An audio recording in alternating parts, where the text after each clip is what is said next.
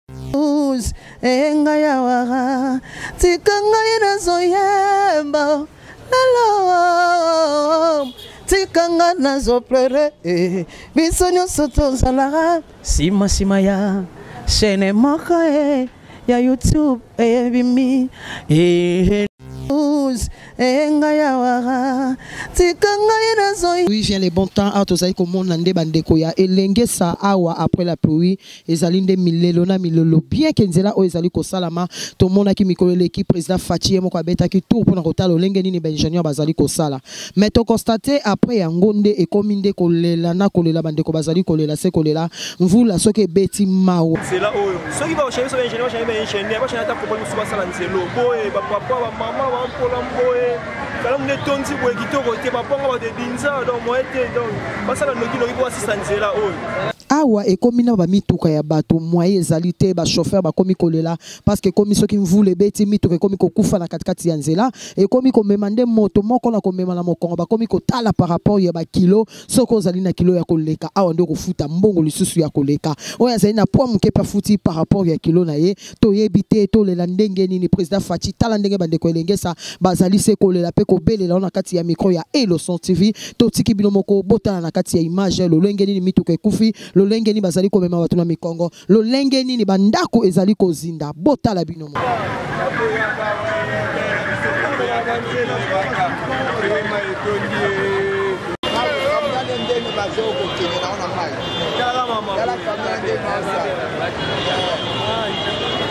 bongo donc esengisa moye te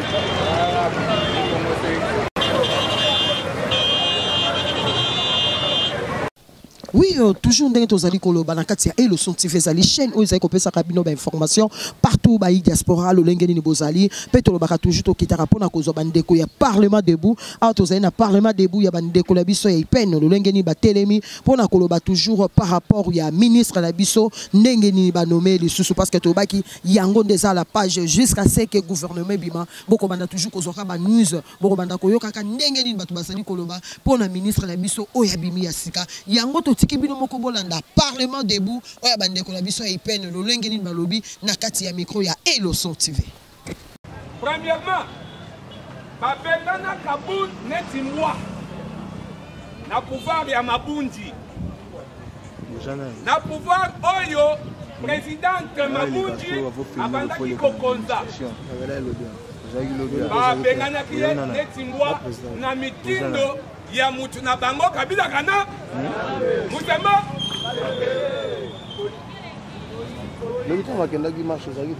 babengani ye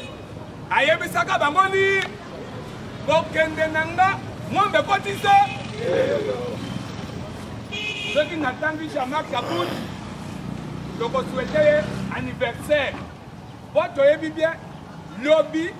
eza ane oyo ye abotama epuis eye kosalema nde meme jour oyo bapesi ye mpe bokonzi wana idps viva tobeta ye ata mwa maboko eza pamba te eloko nyonso ezalaka ya nzambe nakoloba nde nazoloba boye komona ngai mabe te bamisusu bazofinga misusu bazoloba mais soki nzambe alobi ke eza ta na nga ekozala mpe ta na nga mo lobi ekozala ya yo lobi kuna ya moni yango nde omoni eloko wana esalemi ye moko na anniversaire ya botama na ye eza mabe te tomoni bango ndenge elektio eleki bavote président ya Assemblée nationale na kombo ya Christophe Bosso oyo aza président définitif ya Assemblée na na vice-présidence ya Assemblée ye moko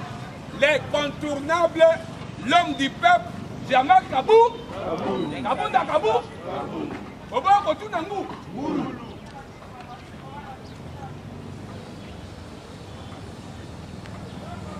na poste ya rapporteur ya liboso toza na lembi lumbula joseph na poste ya rapporteur adjoint toza na colette comba kunda Na poste ya questeur toza na Joseph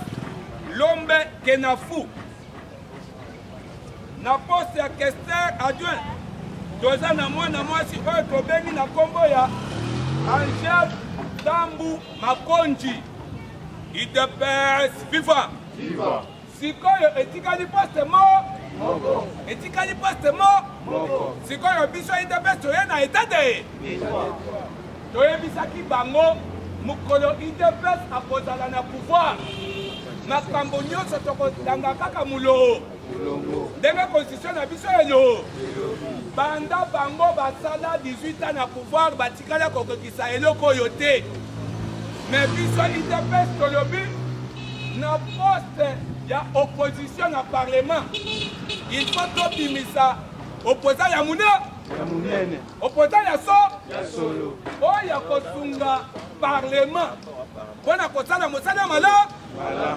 mpo ata wapi il faut tozala na parlement oyo ekozala na majorité mpo na opo sikoyo bazala baopoza ya maka oyo baza na mur yango nde na yango aux jours à venir tokoluka totya na poste wana opposant ya makasi opposant oyo akozala na posa ya kosunga peuple congolais et puis kala te tozozela gouvernement ya union sa union sacre bakoya kosala mosala sikoyo ensemble mosala na bango ekobanda kogere bango soki osali mabe babengisi yo soki otamboli mabe babengani yo nde nde mosala oyo biso tozoluka yango wana telema ke bango nyonso balobi bakosala kaka makambo nyonso na intere ya peuple congolais bakosala mosala na intere ya mboka bazosala mosala mpo na kosunga mokonzi ya mboka a réussir na présidence ya union africaine bakotravaille mpo basala réforme ele, eh, réforme ya assemblée udps viva nga motu nalobi te eza ye moko christophe mo Na yango, toyeba ke mokonzi ya mboka azo fournir ba effort ebele. Kala te mama Tumba akozala premier ministre ya pouvoir ya facibe na union afrique oboye kotuna ngu udps viva ya mibale eza eloko ya esengo cetadire makambo oyo biso tobandaki kozela tozomona yango te me lelo ekokisami mpe makambo yango eza nini toyebi bien ke peuple congolais nyonso to travailleur nyonso abandaki koluka azwa carte na ye to eloko oyo ekosala ke ata soki ake na banke nini azwa kanye ntango tozoloba awa enregistrement ya bafonctionnaire nyonso public eza na kati ya kosala ebandi na kisangani na province ya chopo kala te ezokita kongo mobi okobetela ata faci maboko te epe ah. eza makambo ya esengo etikala kozala te me lelo tomoni yango eza maloba oyo mokonzi ya mboka alobaka na badiscours ya koloba ete il faut fonctionnaire nyonso azongela baintérêt na ye udps viva po toyebi ke na régime oyo ti oleka régime sanglante régime ya bacriminele babandaki kocommettre bacrime ebele à travers batravailleur ya l'état tobanda nanu na armée tozalaki na armée moko oyo bayebaki nombre effectif ya basoda na biso te me lelo omoni mokonzi ya mboka ye lelo toza na nombre effectif ya basoda na biso mabe eza wapi me bango babandaki kosala kalikili nini bafuti bango mbongo bazwi mbongo ya bato babakisi na bato misusu ntango tozoloba ozomona un général azotonga gros parcelle si niveau mbongo yango azwi yango wa eza kimoyibi wana nde omoni mokonzi ya mboka ye akangi yango abloke yango yango nde omoni asalaki lisusu na baenseignant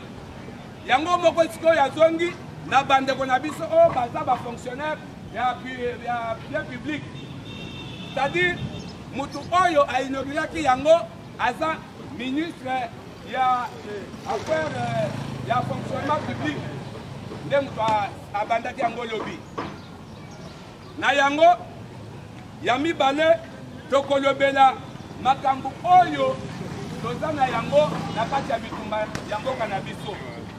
toyebi bien ke na congo